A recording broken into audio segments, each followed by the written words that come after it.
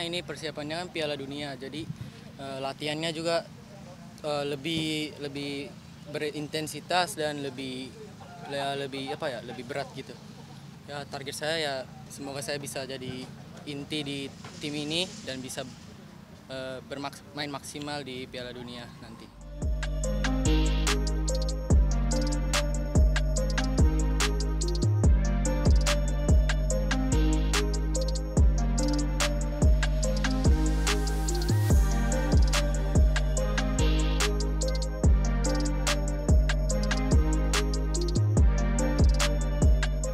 Sekarang ada 34 pemain. Dan kemarin kita udah pulangkan beberapa pemain.